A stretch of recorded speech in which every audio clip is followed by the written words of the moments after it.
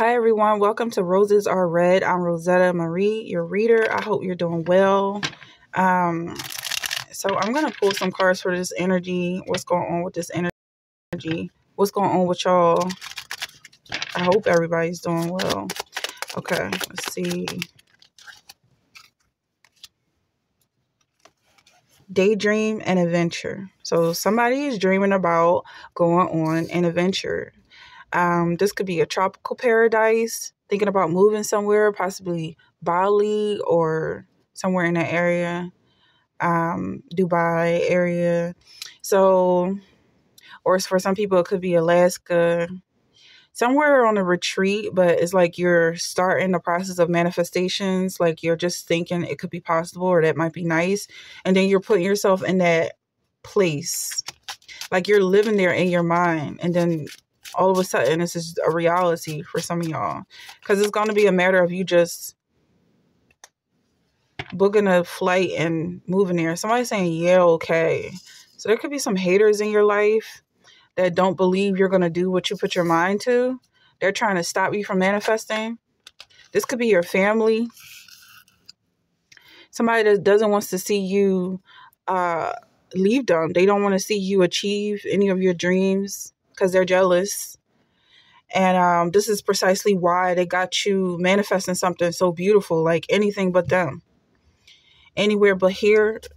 And the more they bother you and harass you, the better your dreams become. And so yeah, they're they're pretty much packing your bags and booking your, your flight. So you can be grateful for what's going on right now what's going on? Indulgence, yeah. And it's not going to be hard at all for you to spoil yourself when you're on this trip. If you decide to ever come back, it's not going to be difficult at all as long as you keep them in your heart. These people who traumatize you, keep your heart open to them because they're going to they're going to keep you in this space of wanting to pamper yourself, wanting to love and nourish yourself and pretty much just heal for the rest of your life. Just heal, constantly healing um, everything you do is contributing to your well-being. This could be something you do professionally maybe going into a therapeutic stage. Some of y'all could be cooks but i'm seeing you being an expertise and very talented. Maybe this is something you wanted. Like if you had a choice between money and talent you probably chose talent knowing that talent could also be considered money not just in the semantic way, you know, like vocabulary wise, the word talent could actually mean coin, but your talent could be uh, profitable to you. Or also, like, having talent is more valuable than spending money because you can sit in a room with your talent, but if nobody wants your money, then it's, it's dead air you have to have things to spend it on. You have to have people who are willing to accept it. It's like a whole relationship here that needs to work. Whereas though with this you're manifesting is like is all you. But I'm definitely seeing some materialism here because you got a new car. Or you're looking into a new car. Somebody could be doing van life, like because I'm still seeing you being alone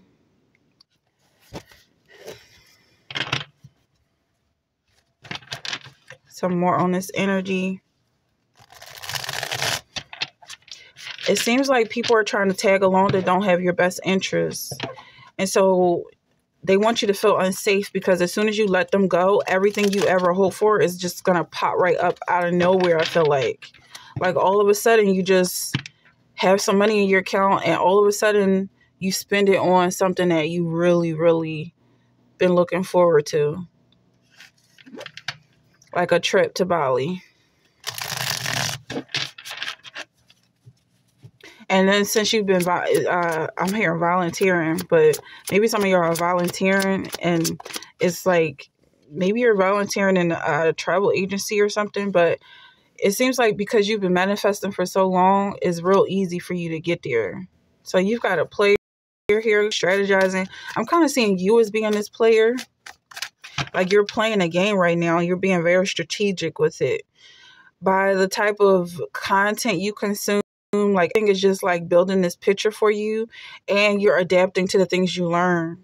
Like if you're learning if you're watching videos on manifestations you're applying that info. It's not just going in one ear and out the other. By the next video you watch you exactly how to use that information and build this this new life for yourself and you have more access to this manifestation this energy of manifesting you could do so much more with it because nobody can keep you on a box. Like it might have been in the past where you felt like you were trapped or like you felt like any and everything had access to you and now you know that anybody says your boundary is the one that's getting trapped themselves. You know, like they're the ones with the issues. You're supposed to remain lighthearted and open hearted to this positive energy coming in, this light that's coming in. Like, don't shut out the light is all money, is all valuable. Yeah, so you might have been around some really toxic energies that was like not allowing you to connect and you you being able to connect is what creates these uh miracles in your life. How you're able to make things so quickly is because you connect to it and it's yours. Like you might have been in a place where energy is just so toxic that um if you were to learn from that, which I don't feel like you are, like you're not learning from things that don't have your best interest in heart. You just completely ignore them. But if you, if someone was to learn from that, then they would have been misinformed or miseducated. But you skipped over that. Now you have a twin flame coming in. You could be strategizing with this twin flame, or this could be someone who was close to your family who is also sending you positive energy and encouragement to continue doing what you're doing, doing what makes sense for you. You could be re- reconciling with them or rebuilding with them. Yeah, somebody definitely tried to lay eggshells at your feet and say, Don't you dare step on that shell. You know, like the world is going to end if you step on that shell, as if it was like a, um, a grenade or something. And it just isn't it really isn't that deep. You can step on these shells all night and day and nothing's going to happen but uh, calcium you're you're just making calcium powder. And i'm also seeing crushed bones for some people. Um, you could be drinking bone broth at this time.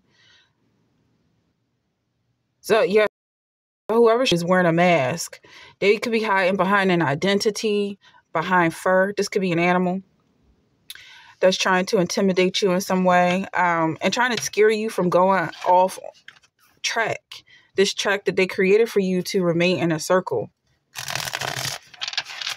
You don't even have to remember the matrix, like the lines in the matrix. Where where's the territory they so called say you're not allowed to cross because it's all delusion, it's all schizophrenia. All right, so you have a secret admirer but I feel like this person could be trying to portray themselves as a secret admirer uh, and, genu- and genuine. In, in, in reality, I feel like they're haters or possibly coming off as haters but secretly admiring you. Yeah, because they have the energy of a hater right now, but they do secretly admire you. They just realize that you're not, you don't want anything to do with them and you're not going to have anything to do with them. Like they can't force a relationship with you. If you don't want to deal with them, you just won't this person is addicted to you. They have a very unhealthy attachment. You might have not given this person anything to go off of. Like it's not like you fed a stray cat. They're not coming back to something that you've done in the past. You've constantly said no. And now I feel like it's not an issue anymore because you were protecting them the whole while. They're addicted to you. And so you're trying to protect them from overdosing and now I feel like you're just not going to be wasting any more time trying to protect people that just don't respect your boundaries. Not today. Boundaries and hurt. Avoiding conversation, not dealing, still upset. They're upset about something. Toxic, very toxic individuals. And we're not even supposed to be reading this energy. Somebody could have hooked up with somebody just recently, a one night stand. Um,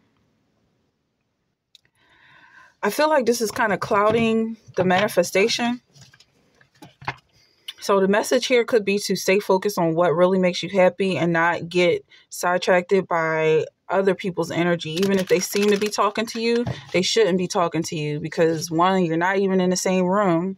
Okay, so this person could be trying to reach through the boundaries you've already set. Even if you are in the same room, maybe you guys are separated by cubicles or whatever the case is, like, or even just not so much class, but like something where they have to indirectly speak to you because you don't want to be their friend. So you would never engage in a conversation with them. So they're they're they're trying to cross whatever boundaries you have set up is what I'm getting.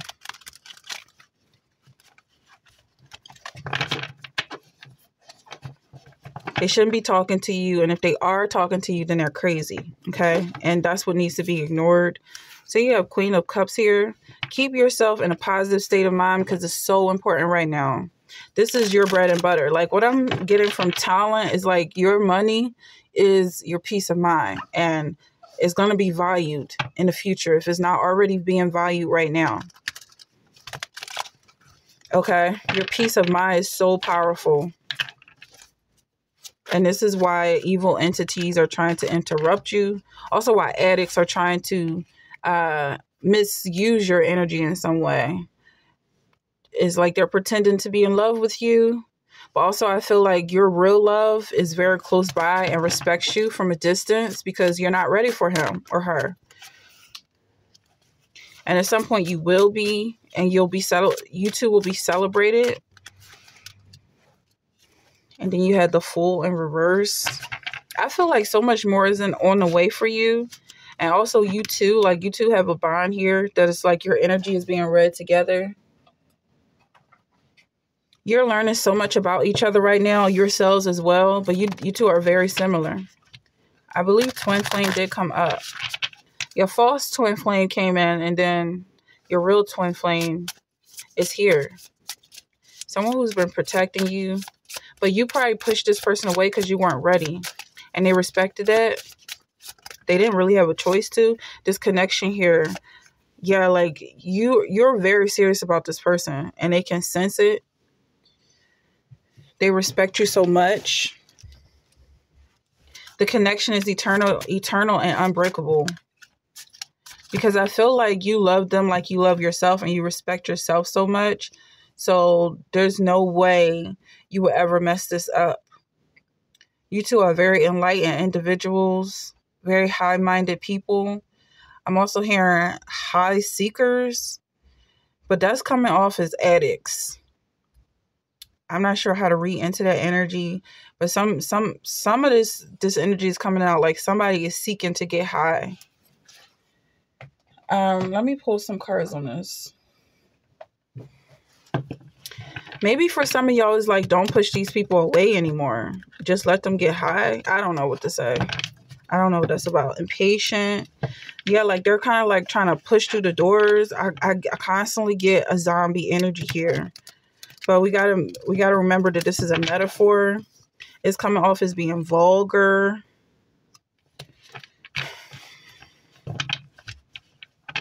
What is this? Stay in the right frequency because even as even as you move into your new era, your new area, there's still going to be in, energies and entities that don't want you to succeed because you are the one controlling the energy, because you're the one controlling the frequency. So I feel like, yeah, like you do have some addicts around you. I I just saw addict. And what can I say? Because if you're not benefiting from this, then they need to go. They can't have any more of your energy, and they're just they're just gonna have to be upset if they don't get what they want. Yeah, so you don't have to worry about it. They're gonna have to be quiet, stay in the background, use your intuition at this point. Yeah, you're not playing any games with zombies or addicts or anybody trying to feed off of your energy. It's very crucial that you remain pure and intact for your twin flame. You don't have to share any type of thoughts or thought space with them. Yeah, that's what this connection is. They're trying to force a connection with you. They're trying to force a relationship with you, and it's just not going to work. Okay? And they're very clumsy about it, like bumping into walls, trying to get close to you. Some of them are breaking through walls. They're going to go to jail if that's the case. All right, you have finicky, like they're finicky and fussy. Yeah, I'm definitely seeing some uh, superstition here. I'm seeing patrol cops coming and taking them away. Maybe going to the pound because I'm really feeling like with that ball with that dog barking it's like maybe this person is a dog maybe they're raggedy to some extent maybe they rely on other people to take care of them whatever it is um, there's some superstition here or somebody is very gullible like they'll believe anything I feel like you have so much control and so much power at this point. You just have to really decide what it is that you want and where you exactly do you want to direct this energy. For some overseas, you're going to be catching a plane. Okay, yeah. So this even this energy is very thievish. So it's something like it's it's coming in your life to take something away. Like a parasite, like it wants to get under your skin to feed off of whatever you're being fed. But ultimately, with this type of energy, I feel like you have to use it. Find something to use it for.